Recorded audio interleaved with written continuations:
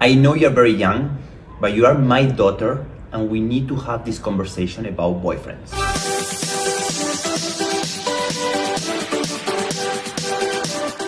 Hello at welcome back sa aking channel, Nico Bolzico at Solin Yusuf trending ang kanilang video. They are never too young to have the boyfriend talk, yan ang maikli na saad ni Nico sa kanyang Instagram post.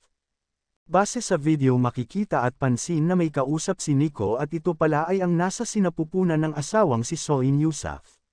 Sa clip nga na ito ay maraming natawa at nagkomento na kanilang mga taga-suporta at kapwa nila celebrity at isa na dito si Bianca Gonzalez, saad niya I love this, kung saan reneplyan ito ni Nico at sinabing maybe we can share anti-boyfriend strategy.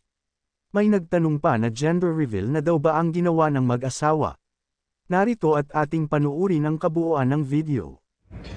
I know you're very young, but you are my daughter, and we need to have this conversation about boyfriends. Don't worry, I make it short. You cannot have a boyfriend till you are 23 years old. Love you.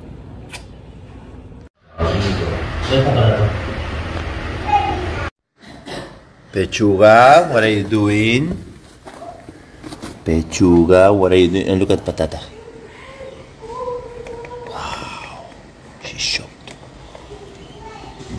Okay, guarding, guarding the door. ¿Dónde está Patato?